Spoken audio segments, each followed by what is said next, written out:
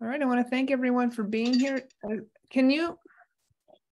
Is it just my, let's see, I see a big square. Is that just me?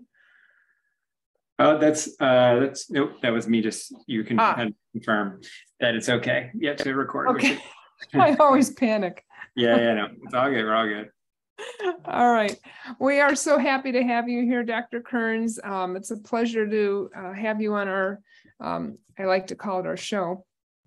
Mhm. Um, for those of you who don't know who I am, I'm Donna Hejtmanek, the um, founder and creator of the Facebook page Science of Reading, What I Should Have Learned in College. And our mission is to get evidence-based practices into the hands of teachers. Um, Dr. Kearns has a long biography, so I picked the brief one. He's a very interesting guy. He's Dr. Kearns, PhD, is an associate professor of special education in the Department of Educational Psychology in the, help me pronounce this school, NEAG? Niag. NEAG, thank you, School of Education at the University of Connecticut. He is a research scientist for Haskins Laboratories at Yale University and the Center for Behavioral Education and Research at University of Connecticut. Devin conducts research on reading disabilities, including dyslexia, uh, in elementary and middle school age children and designs instructional programs to assist these students. Devin also studies the neurolog- neurobiological effects of reading intervention. He publishes articles for t- researchers and educators on reading difficulty and helps schools and districts implement high quality reading instruction. I have to say, um, I got, I'm kind of a fan of yours because I got, um, when I heard some of your interviews with uh, Dr. Seidenberg and um, your work with Katharine Pace Miles, I was very intrigued. And so um, you're kind of um, someone that I've been admiring from afar. So I'm, I'm a fan of yours, and I'm so glad that you're here to share your work with us. Um, so just a reminder to folks, we will have about 45 minutes, correct? Dr. Kearns of a presentation and Yep. um, and then we will be available for about 15 minutes of Q and A. And um, so if you have a question, um, put it in the um, in the chat and I will be going through questions and and helping Dr. Kearns with those. So Great. without further ado, Dr. Kearns. All right, you'll see a, uh, briefly, you'll see on the screen, uh, uh, something that's gonna go away in just a moment. Uh, And. Okay. All right, so, so I'm going to talk about, um, all right, uh, you should be able to see, Don, is that true? I can see it. Okay, perfect. Um, so uh, thank you so much for having me. I'm really thrilled to be here and to talk with you all. Uh, I'm going to tell you this uh, topic is near and dear to my heart uh, because something that as a teacher I really struggled with and I've learned a lot about it and I'm really thrilled to share some things with you today. I'm going to um, have you, I'm going to give you, put two things in the chat. So um, I can post them again later, but I'm put I put in the chat a copy of the presentation, Uh, um, and then I also put in there. Um, Donna, let's do it. So I think can you auto mute everybody? I am going to auto mute, just so you I know. wonder Okay. why. All right.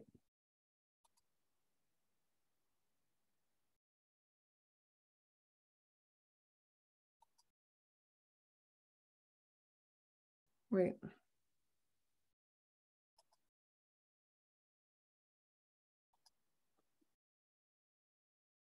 Dr. Kearns, I can't, I don't know if everyone can hear you. Oh, sorry, that was I got put on mute somehow. Okay, Okay, can you hear me now? yes. Okay, great. Um, so, so I'm going to start by talking about uh, science-based reading instruction, why it's important briefly, uh, and then I'm going to talk about polysyllabic words and syllable level strategies. Uh, I also have slides on morpheme level strategies, but in the short time we have, uh, we probably won't be able to get to them. I put them in there for your future reference. Um, so I want to talk about first uh, why it's important to do science-based reading instruction. Um, and I'm going to tell you that this started with me personally. So this is my youngest sister. Uh, Cabri. This is her age two or three. Um, and she had difficulty learning to read, uh, not at age three, but later. I show you this picture because it also was taken with her brother. Uh, that is me. I think I'm at age seven. And yes, I'm wearing penny loafers and black socks. So uh, you can all judge me for that. I judge myself to this day, but you can also see why I ended up being a professor. Um, but around age 13 or so, you know, I was chaste sometimes with doing the reading homework. She really hated it. It was very hard for her. Um, and I'm sure many of you uh, know that feeling either as parents or as siblings or as someone yourself who struggled like that. So it really had an impact on me from the beginning.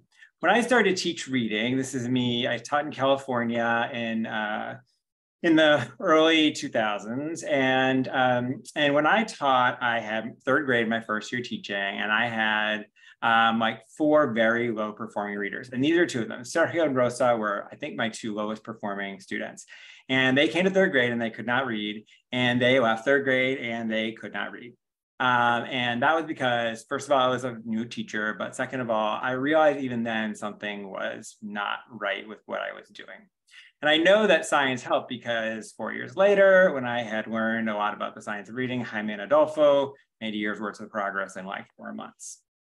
And students like Tazari didn't qualify for special education services, even though that would have been expected. There's a really terrible impact on a lot of children. Um, during school, I'll share some statistics briefly. The number of fourth graders with learning disabilities in reading who are below basic is 69%. The number of years that high school students are um, below their reading grade level is about three and a half. The number of students in secondary school that failed at least one course is seven in 10. The fraction of high school students with learning disabilities who drop out is about 20%. After high school, things are still challenging. Um, among people who uh, don't go into post-secondary education, um, the percentage who have paid employment two years later is less than half, and that unemployment rate is double that of people who uh, do not have disabilities in reading. Uh, the number of adults involved in the criminal justice system uh, who have reading difficulty within eight years of leaving high school is estimated to be about 2 million. I want to be clear. It doesn't mean you're going to end up like that. It just ends up that for some people that ends up being a, a cascading consequence. And finally, the highest income for 67% of adults with learning disabilities is just $25,000 a year. To demonstrate the depth of the challenge, it begins early. First graders with reading difficulties still have difficulty in fourth grade, and that's true of a lot of them.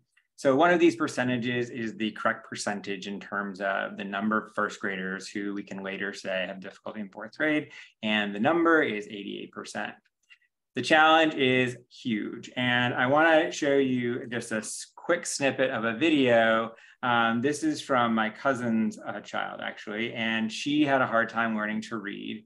Um, and I'm going to ha have you listen to her read just a little bit of this sentence, since I know we've got other things to talk about. It'll just be a short snippet, but I want to sort of get us in the framework of thinking why science-based reading instruction is so important. To a hat.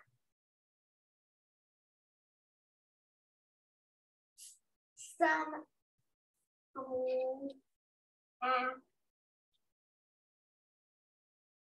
some flat flop, some flip flops,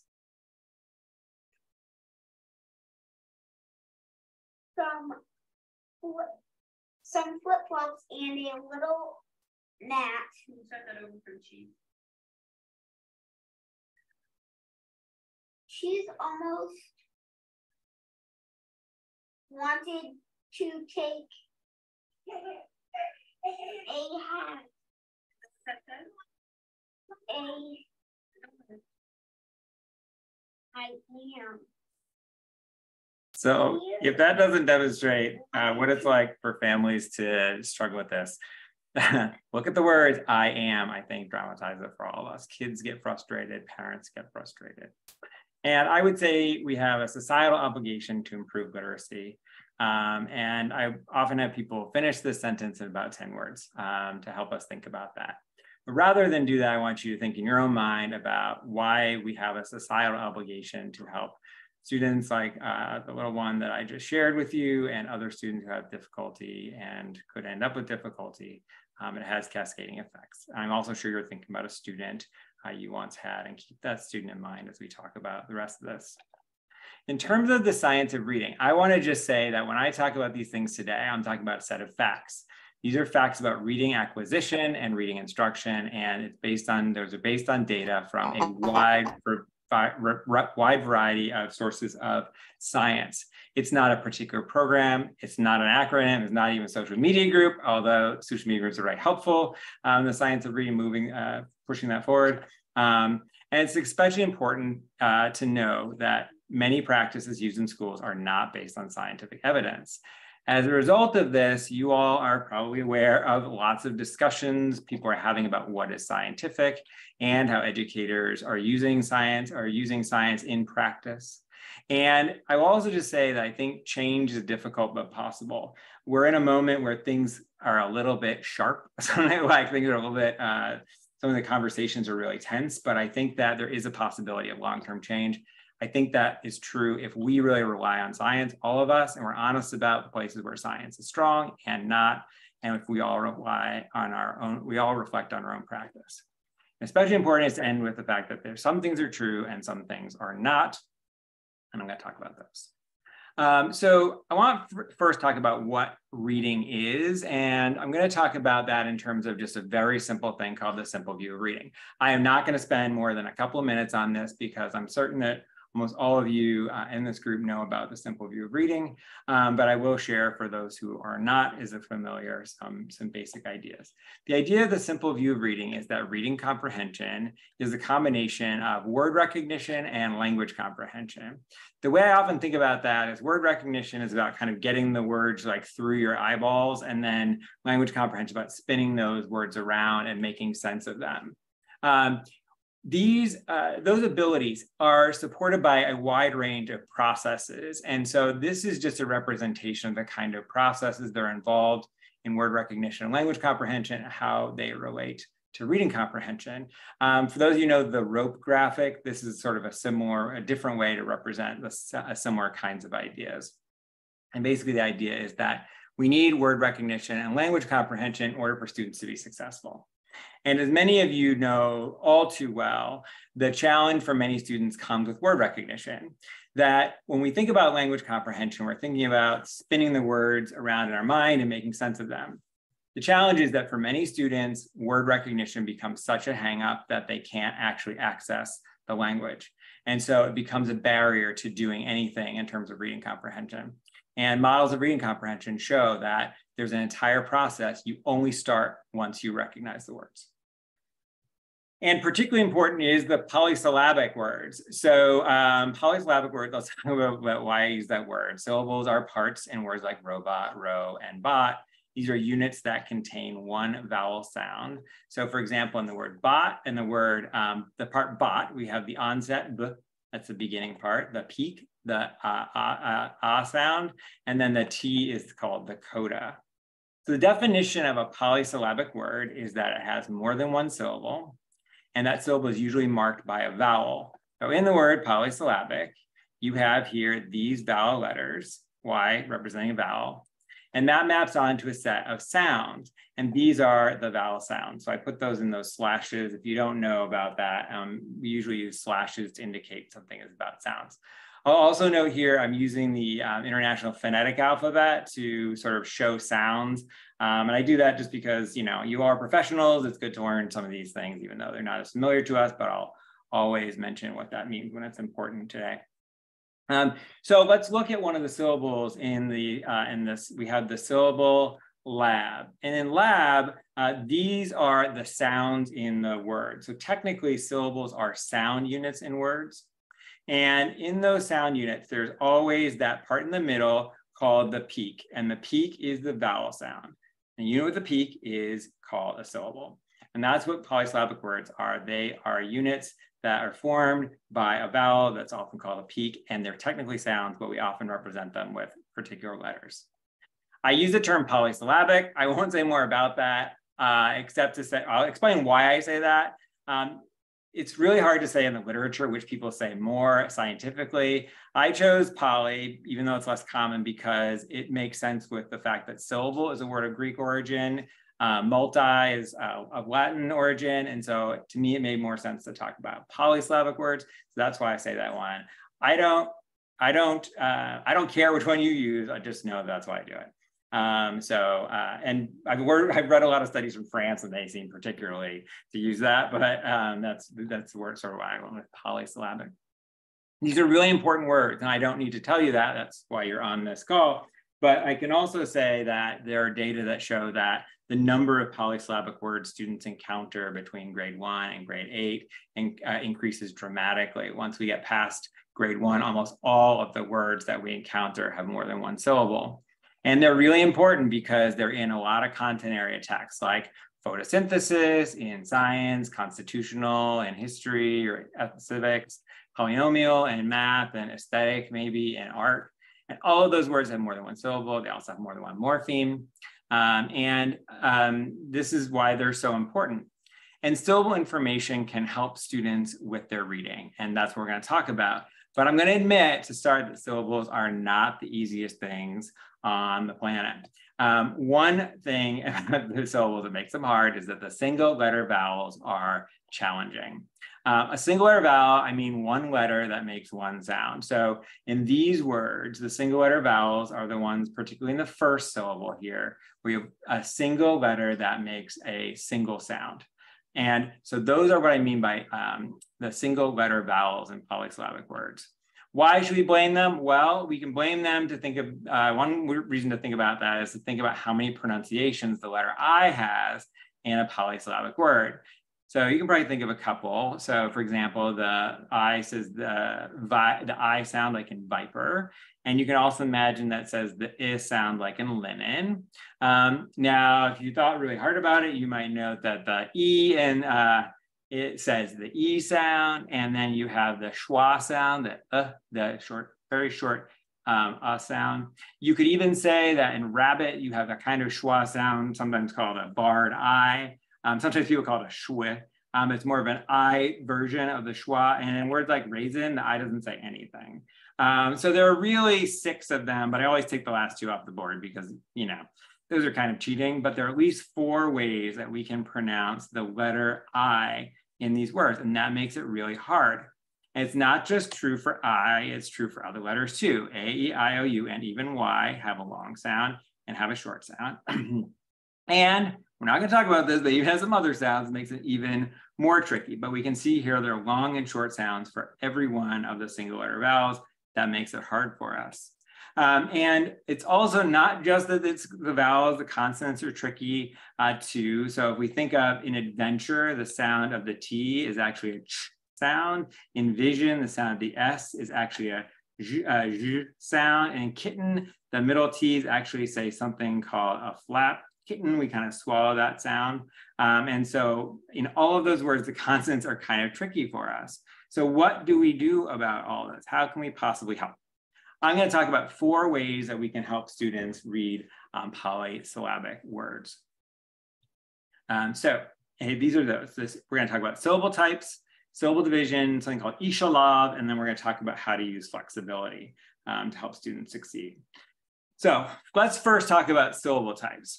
So the first thing you want to do is teach students that printed syllables have predicted, predictable pronunciations. That when you look at them, it's not going to be just anything. And I think that's important because I've had students before where literally, you know, you ask them to read a word and they like look at the ceiling because like they don't trust the letters to help them, right? Like the letters are um, not the access code for them, which is which is too bad because the letters give you all the information you need to read the word.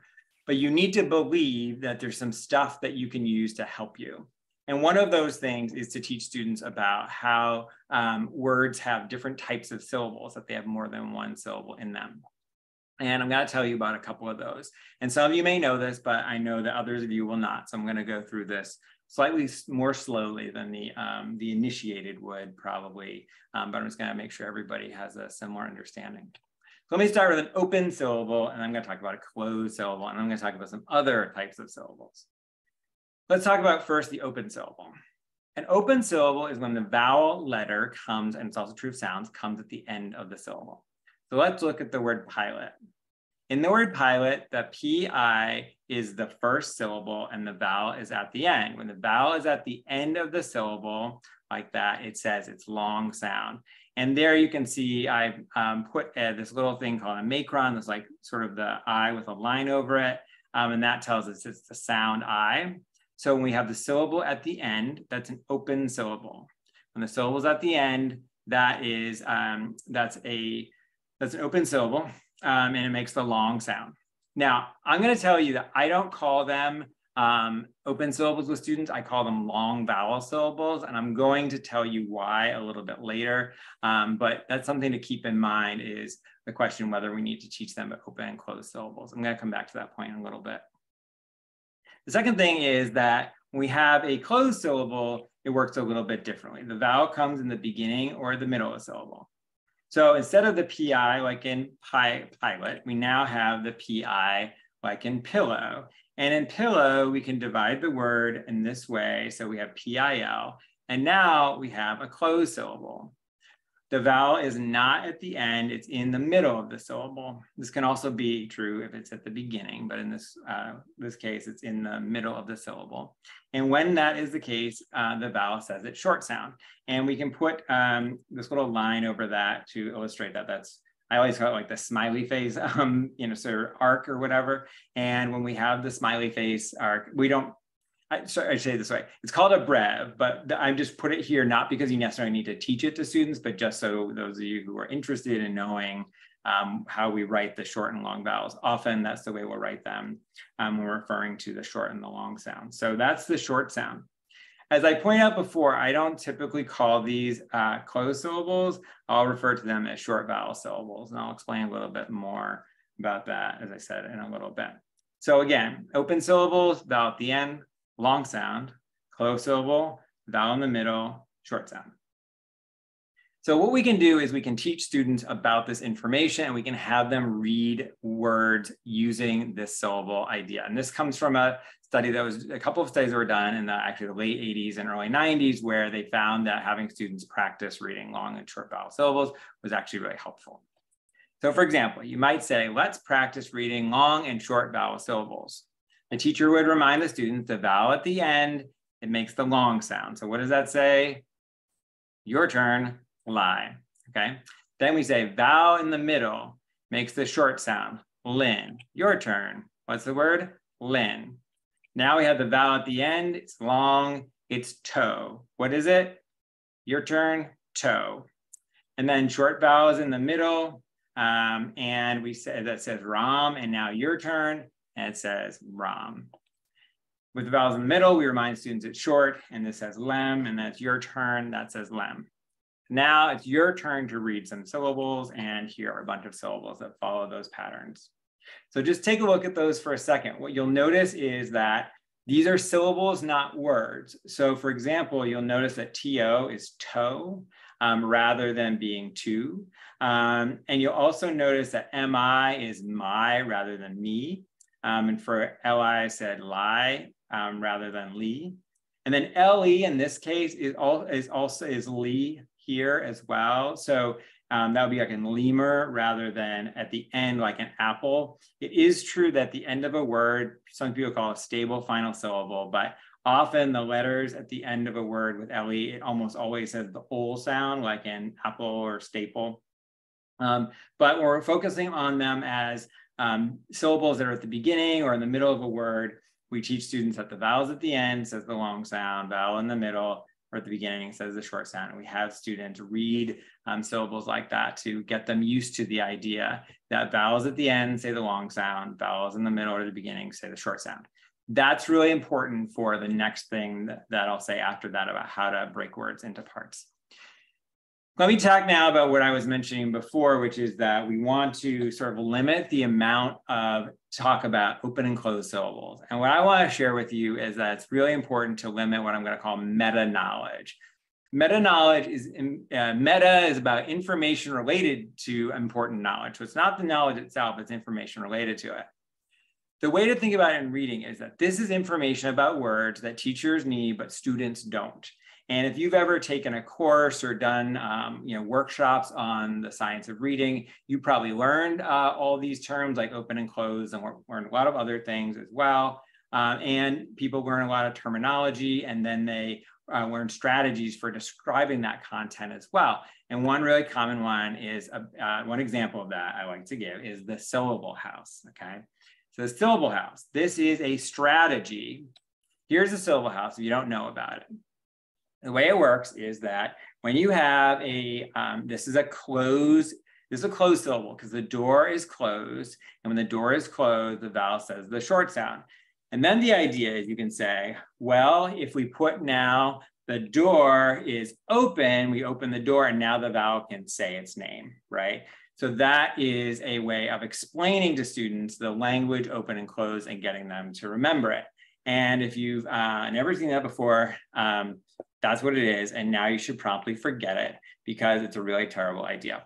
Um, and so one thing I want you to remember is um, that all of this is a really bad idea and that um, if you remember nothing else from today, please don't teach the syllable house. So that is my, I put that in a big, I spent a like, I spent like five to 10 minutes making this slide because I thought it was so important for you all to remember the syllable house is not a good idea. The reason again is that that is meta knowledge. It's extra stuff that's related to knowing about the open and closed syllables, but it's not what students need to know, which is how to use them. And similarly, I don't use the terms open and closed because it's not clear it's necessary for students to know the terms, right? Yes, so it's open, meaning, you know, it's at the end of the syllable or it's closed, it's not at the end of the syllable. And those things have linguistic, sort of, they're, they're like, those names are sort of derived from linguistics and actually how we talk about sounds and how we process sounds. And then typically um, long vowels come at the end um, and sometimes linguists call them open syllables but we don't necessarily need to teach that to kids. It's great for you to know as an educator, um, and um, but it's not something necessarily that students need to know. Um, so uh, so um, so that's um, so that's example of meta knowledge. One someone put in the um, chat that like a story or image can help them remember the words. I would not do that. I would not recommend using a story or image because we want to make sure what we our goal is for them to link the letters to the sounds. And so what we always want to do is make that explicit connection to what they're reading. When we're having them kind of step outside of the reading, that becomes sort of its own separate thing that I get why we would do it. But basically, I wouldn't want to do it because I want to focus students explicitly on how the words work and getting them to think within the word. Because the way to think about it is when you're reading, you need something quick and easy to help you get through that word. And that's why something like knowing about the open and closed syllables, call them open and closed, call them long or short vowel. But if you know that the vowel at the end says the long sound and you know the vowel in the middle says the short sound, that's powerful information to help you when you read. Extra stuff, even if it's designed to help students remember, it might take students out of it. Um, and rather, I'd rather have them focus on the letter. So is that always true? No. So there are cases where maybe a strategy is, is a good idea, but um, in general, that's something I like, hopefully you'll take away from today. Um, and again, you know, for the syllable house, it's way outside what we're actually doing when we read, and that's why it's not recommended. Or that's not why, that's why I don't recommend it. Um, so one of the things that you can do to help students with this is to, you can teach them to practice vowel pronunciations and you can teach them to say the short sounds and the long sounds for the vowels. So this helps students when they're, we're trying to increase their flexibility in terms of using those. So we just have them say the short sound, have them say the long sound, and I have students practice the pronunciation of Y. There are four of them. There's the consonant pronunciation. People dis disagree about how to say, I say y, um, although some people would say it's E. If you ever taught reading master, you'd say it's E, um, but I say y and then you have the E sound like in pretty, you have the I sound like in fly, and you have the I sound like in gym. So we always do those um, to remind students that those are the pronunciations. Why? Because um, the letter Y at the end of a word is actually very common. And so it's important for students to be aware of that. So those are the syllable types that are important for students to, to know. They need to know about those open and closed syllables. Less clear is whether we need to teach students about other kinds of syllables. So we talked about open and closed. Those are all good. Those are good to teach. Then there are a few others that people often teach, like the vowel consonant E syllables, sometimes called the final E syllable. Um, for these, I don't think that there's a real, there's not a really clear answer about whether or not it's a good idea to do this. The data aren't clear that it's a bad idea either.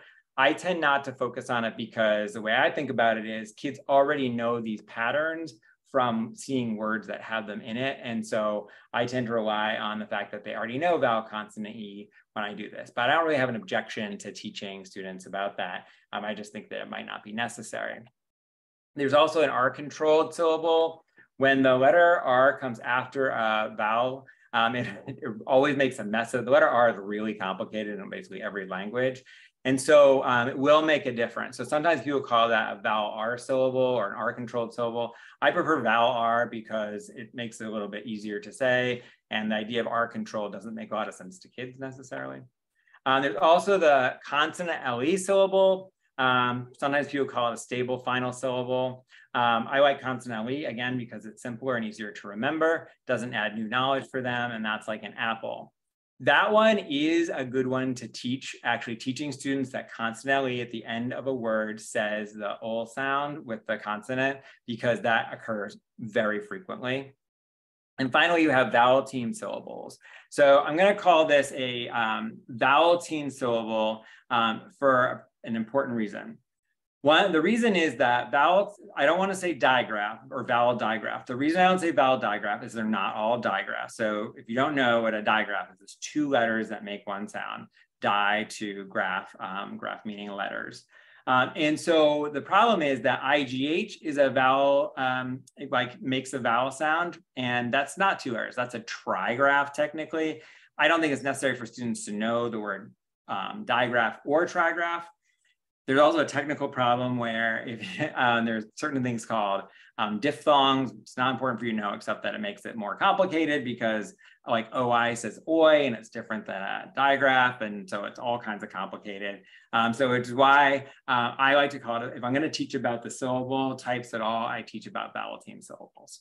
It's not clear that all of these need to um, be defined, but it's also not necessarily a bad idea. So I there's not a lot of science on this, so I'm not going to say you shouldn't do it. Um, I couldn't say for sure. I know that you know from science, the open and closed syllable part is important, and obviously students need to know all those other pieces. The fact that consonant LE should be taught as a unit, that's just Devin saying that like that's really important. Um, I mean, although I think you all would probably agree, but um, that's the information about um, syllable types that you might teach students. The next thing to talk about is syllable division, which is teaching students a strategy for dividing words into syllables, okay? It's really common in programs, especially programs for kids with difficulty. Here are some imaginary names of programs that I turned into other programs because I didn't want to call it any particular program. None of these actually exists. I just made these up to sort of illustrate. There are at least this many programs that many of you will know that um, are many of them are Orton Gillingham based. Um, and um, the data about the value of teaching syllable division is not strong. There, um, so there's a study, uh, something called a meta-analysis of Orton Gillingham, I think it was last year now, and it sort of showed Orton Gillingham has maybe okay effects, uh, meaning it wasn't like they weren't huge, um, but they also weren't tiny. And um, I don't, the data do not suggest Orton Gillingham is a bad idea. But what the data also don't suggest is that this particular part of it called syllable division is necessarily a good idea. And that's what I'm going to talk about in terms of um, syllable division. There are, I've done, I've done some research on like counting the number of programs that teach about syllable division um, for intervention, and it's kind of about half and half. Half the programs teach about syllable division, half of them don't. Um, and programs on both sides have positive evidence of improving student achievement. So it's not that syllable division is necessarily a bad idea um, if you do it, and particularly if you do it in a particular way, which I'm going to call the flexible way. Um, but there are ways to do it that are much less flexible that um, people really like. Uh, I'm, I'm going to tell you that the data on teaching those more complex strategies are not strong, um, but I think it's still, I wanted to make sure um, that uh, Val, that we, you know, we want to make sure we talk about it because it is really common. Um, and so um, so I'm going to talk about what these patterns are, okay? So syllable division patterns are ways to break up words when you have a single letter vowel, we already talked about, two consonants, and then another vowel. So the syllable division pattern then is that when you have a vowel, two consonants, and a vowel, you divide the word into syllables between the consonants. So that works really well in a word like rabbit. So you divide rabbit between the consonants, following your rules of V, C, C, V, okay? And then that little smiley face thing comes back that I talked about before. We have a closed syllable now. We already know about that. And we know that in a closed syllable, the vowel says the short sounds. We know that that's rab. So the pattern is that we have two consonants between vowels and we break it into two parts between the consonants. First syllable says the syllables in the first syllable, the vowel says a short sound. The second pattern is the VCV pattern. The primary VCV pattern is that you break the word after the first vowel letter. And when you do that, the vowel there makes the long sound. So that, remember that's the line means it's the long sound. So in the word tiger, use the vowel consonant vowel pattern. You break it after the I, um, and so after the first vowel, and you have an open syllable. At the end, we have the I, so the vowel says the I sound. So, but one thing that's challenging about this is it doesn't work all the time. And one of the things that this is a good example of where I sort of interrogated my own practice. This is where I decided as a researcher, um, I had access to a lot of word databases and I did an analysis of words in English. Because um, I started to think like, does this stuff really work? Right. I taught it. I've taught a number of programs um, that are familiar to many of you. Um, and many of them had syllable division in them. And I, you know, first I thought it was really cool. I was like, this is so amazing, right? Like there's a pattern to this stuff and we can teach kids the pattern and the pattern will help them. And especially the um, open syllable and the VCV.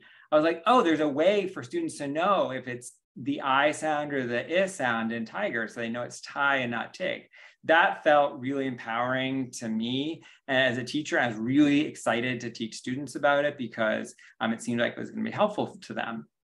But as I taught more and more, I would like find all these words where it didn't work. And I started to think, how helpful is this actually for students? So here's the analysis that I did. So this is, um, I did an analysis, so it was a tiny bit of research.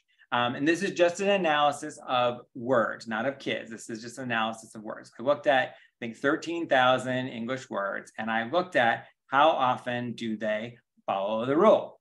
Um, in other words, how, when you have a VCCV word, does the vowel say the short sound, the first vowel say the short sound?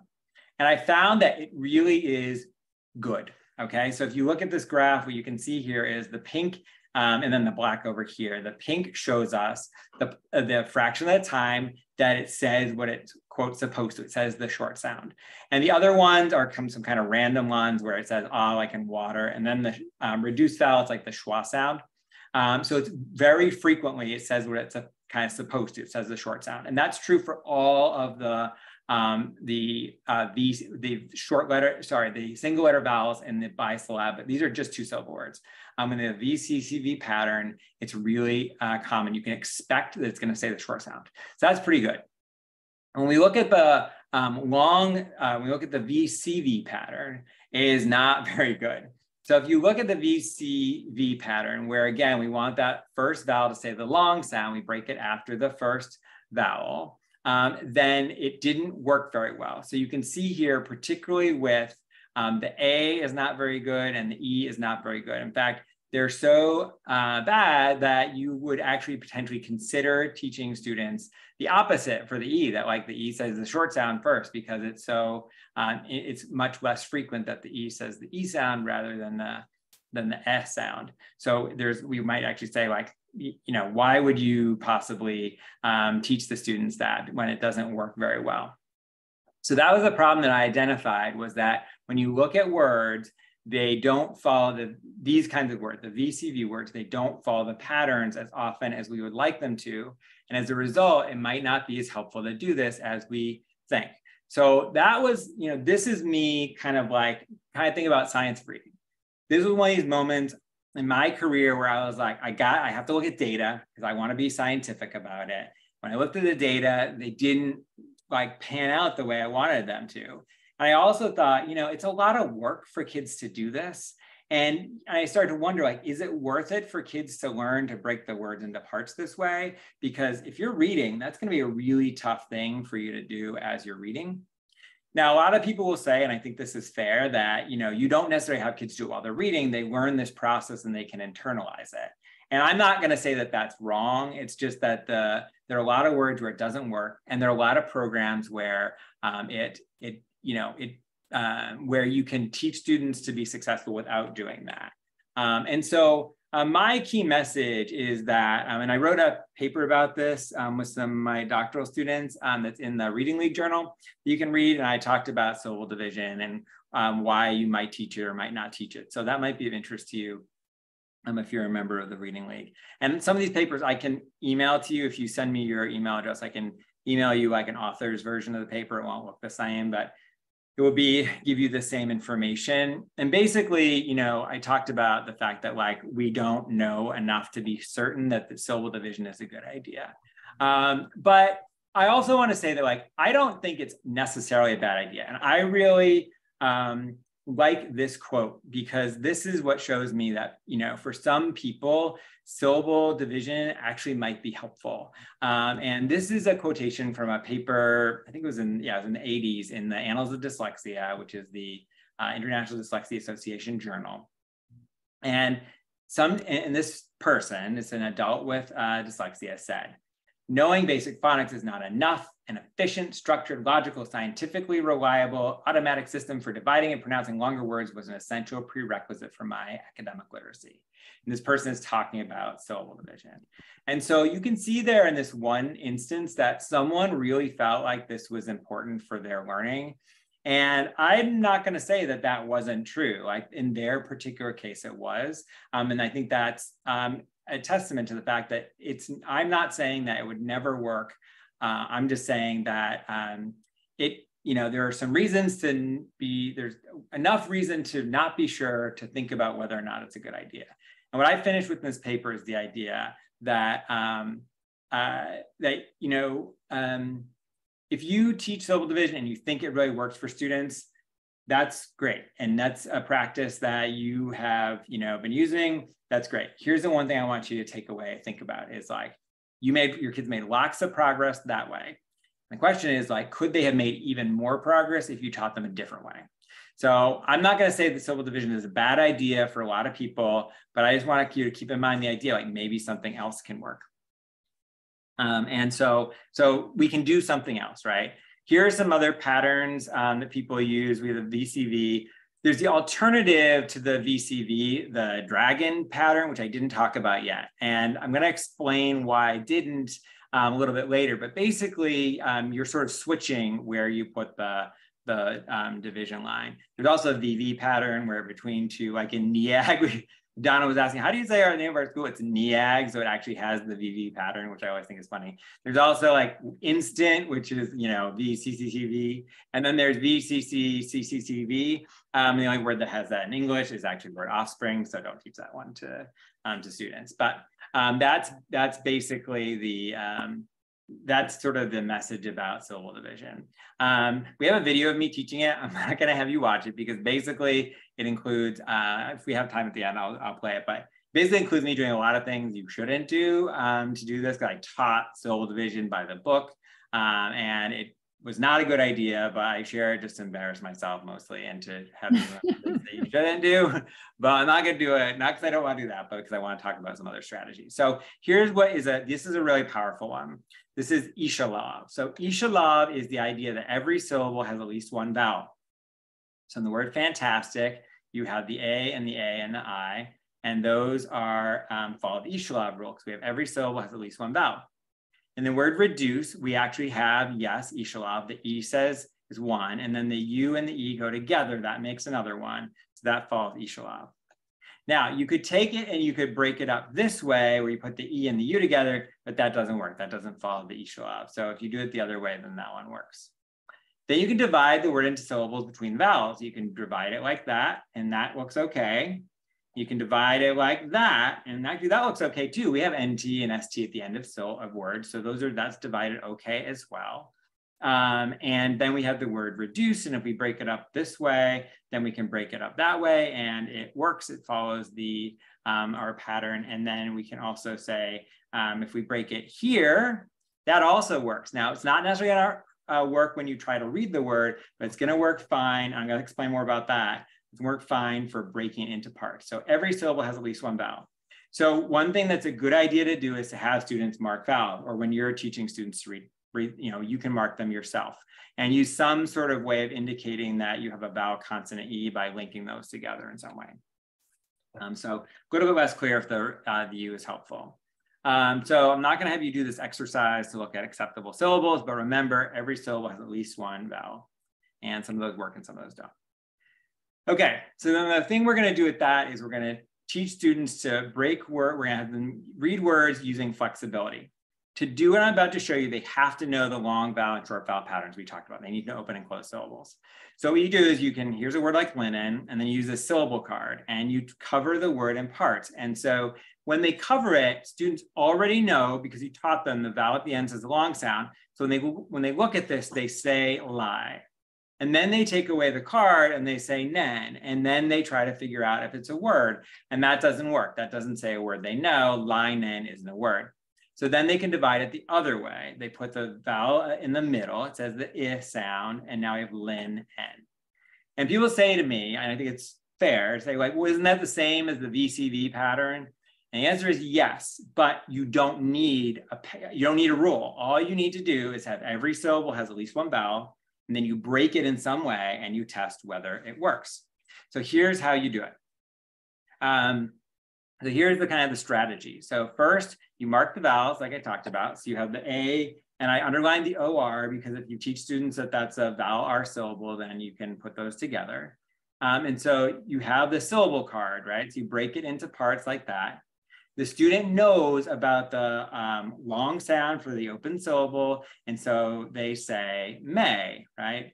And then they look at the other part of the word and it says jor. And they say, what word sounds like that? And they say major, major, major, right? So they know what word that is. So then we can, um, yeah, Kara, I'm gonna come back to your point. Uh, so then we can look at the word dragon um, in a similar kind of way.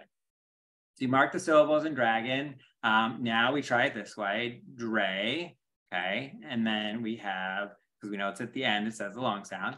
And then we have gone. We have the, actually, this is a, oh, a closed syllable. The vowels in the middle says the short sound gone. So there's gone. And I think what word sounds like that? Dragon, dragon, that's not a word. And then you can try the other way. So this is the cool part. So now we still have our, uh, uh, every syllable has at least one vowel. And then we can take our syllable card and break it up the other way. Now we know we have a closed syllable or a um, short vowel syllable, and we know it says the short sound, and now it says drag, and then that says on, and we think, what word sounds like that? Dragon, dragon. And so the students then have access to the entire word. Um, so, um, so uh, let's see.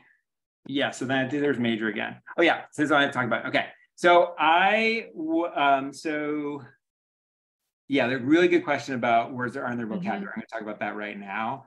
Um, and it is true, Catherine, that every syllable has at least one vowel sound, but for the purposes of instruction, we're going to teach students about the vowels. Um, the, I talked about that early on about the syllables are actually anchored by a sound, but we're going to talk about them as letters because that's this is actually a strategy that a researcher used in a very successful study.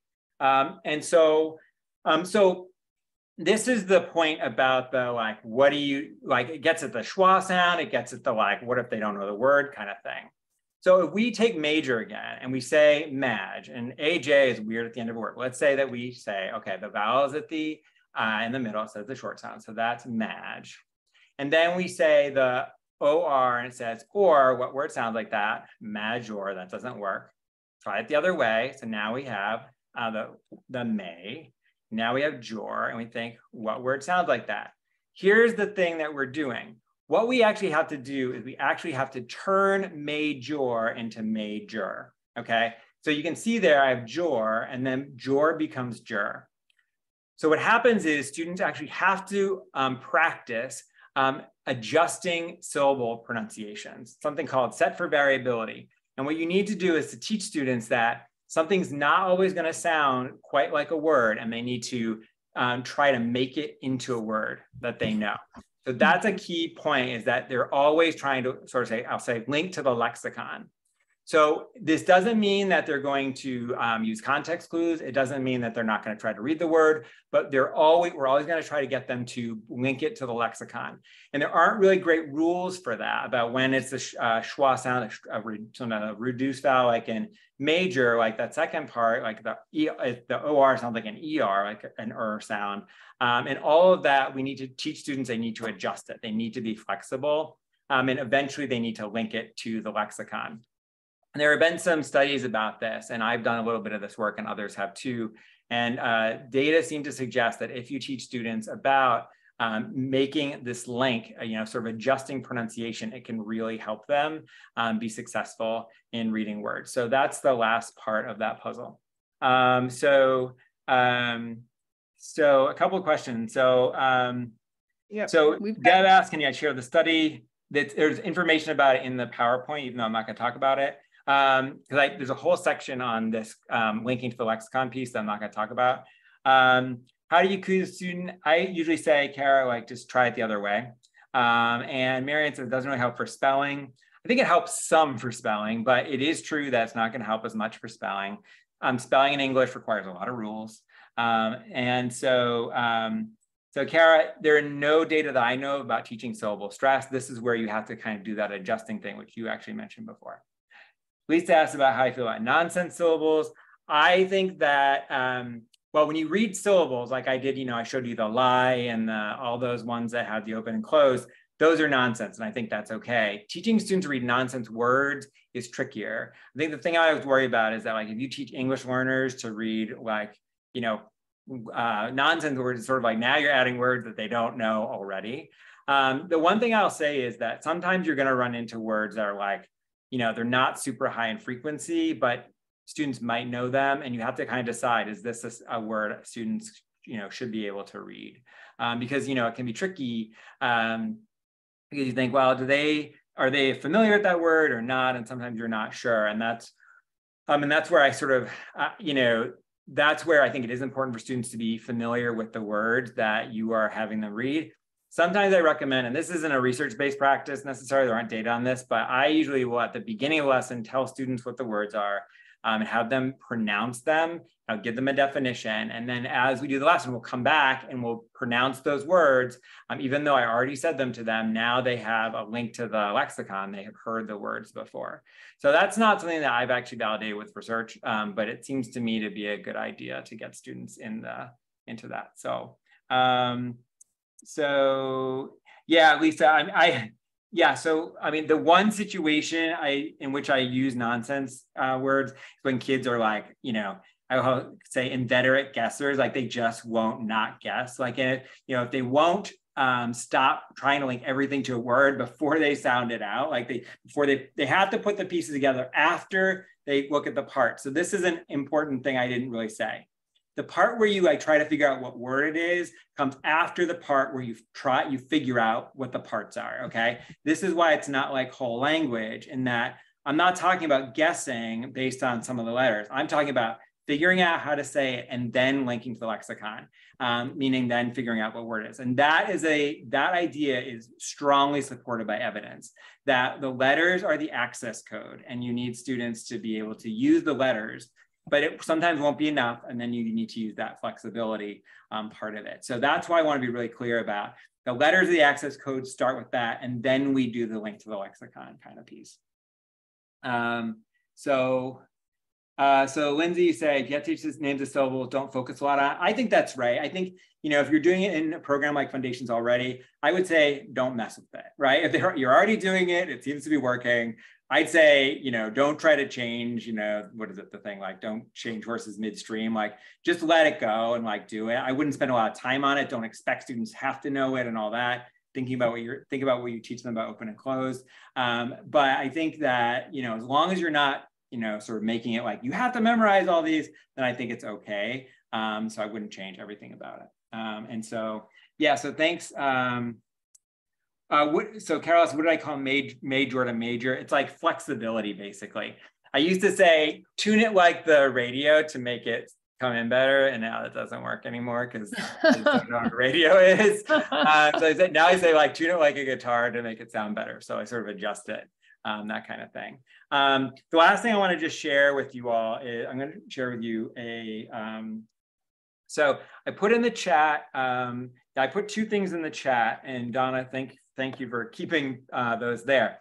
One thing I wanted to share with you that um, not the presentation is a separate thing, um, which is the word recognition lesson design workbook, um, which I think you will probably find helpful. What I did in this is I um, created a uh, document that lists um, like a whole bunch of strategies for how to read words and how to practice things.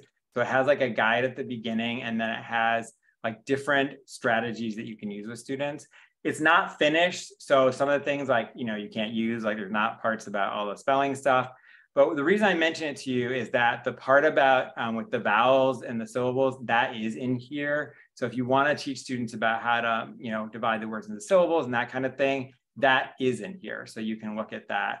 Um, you can look at that to teach students about that. So um, there's also things about how to teach students about high frequency words and all kinds of things that you'll probably be interested in. And so please take a look at that. Um, I always ask you like, you know, credit me for the fact that I spent some time on it. If you really like it, if you hate it, you know, you can tell them it's me, but you know, maybe not. Uh, no, I'm just kidding. Uh, whatever you say is fine. I did make it. And, you know, I'm also happy for your feedback too. Um, and then the last thing I'm going to share, which some of you may know about, is I made a website called Phinder. So if you go to devinkearns.com, I apologize, I actually have a website, um, .com, it seems so silly, but uh, if you go to devinkearns.com slash phinder, it starts with a PH phinder, you can see it here.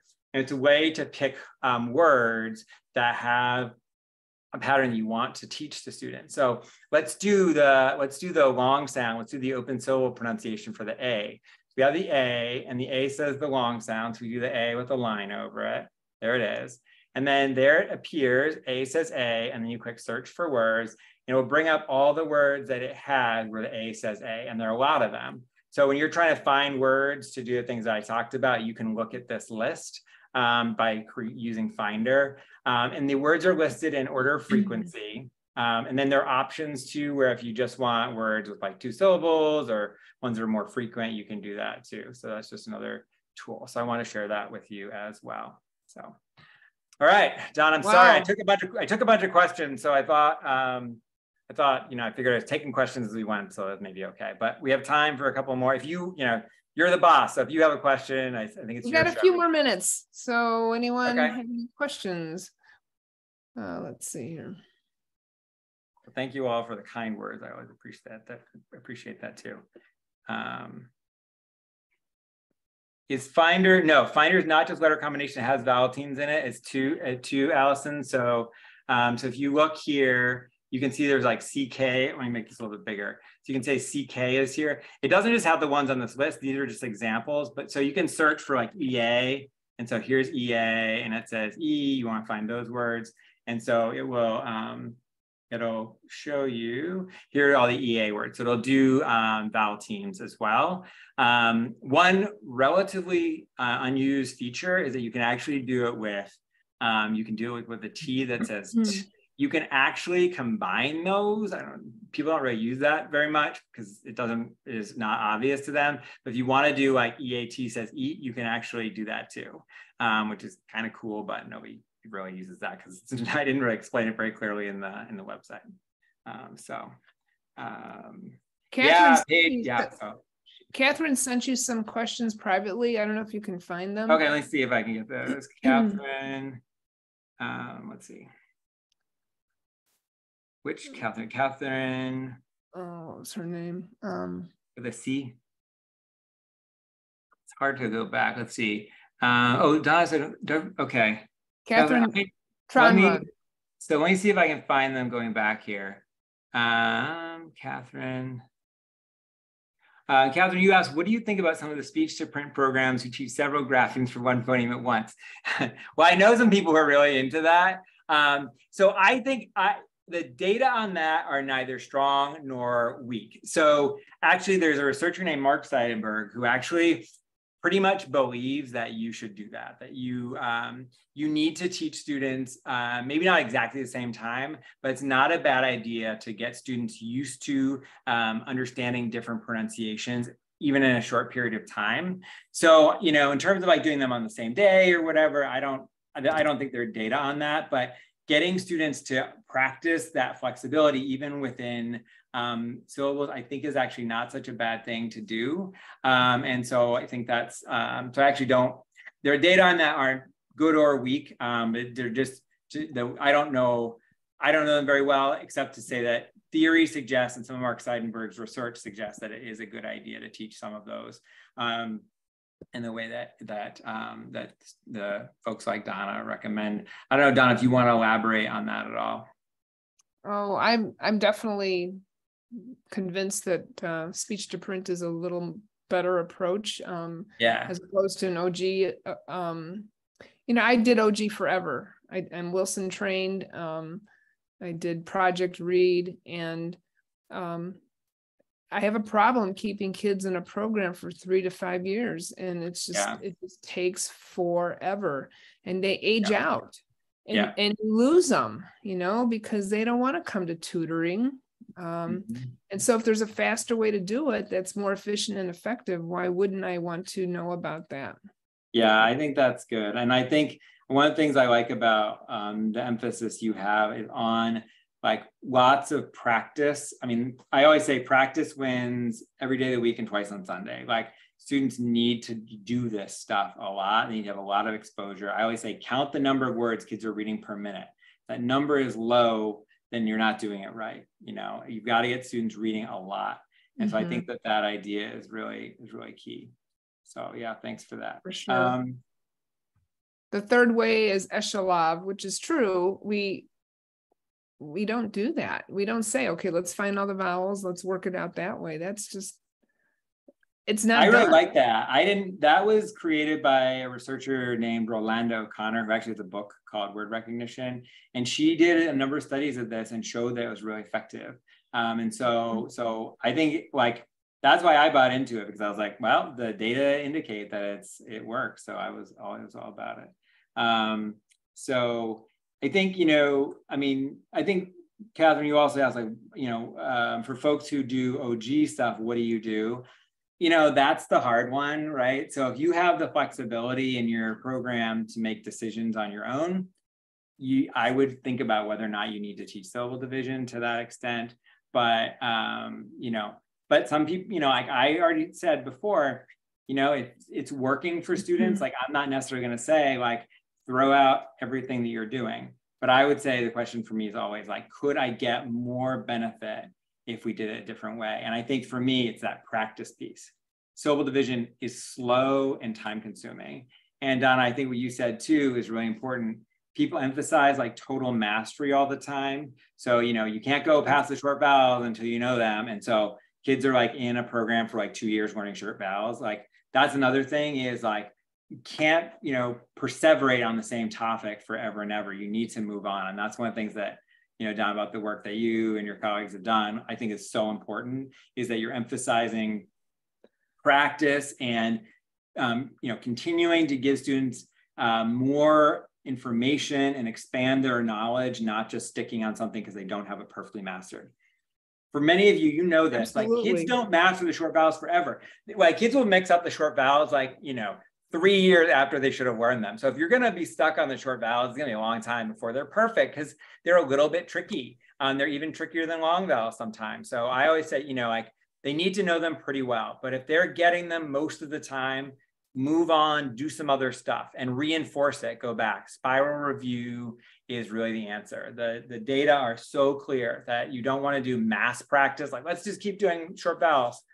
You want to do distributed practice, teach short vowels, get them good, and then bring them back over time um, so students can practice them. Well, and um, this gets back to the conversation we had that um, if we're limiting kids to just CVC words and then we move on to CCV words, and it, it it's that laborious process where if, we, if we can get to the chase and not expect mastery because there's other things that are in play here when kids are reading. It's not just about decoding. What they take into account um, the sense of the sentence and what the context is about set for variability plays in there and then and then the um, self-teaching hypothesis you know exposure will bring more words to your lexicon to your you know um, your orthographic mapping it just keeps keeps building on each other and i think again um, i just think it's important that we we are aware of all these ways to approach reading. Um, that's yeah. why we're here. At least that's, that's what I'm saying.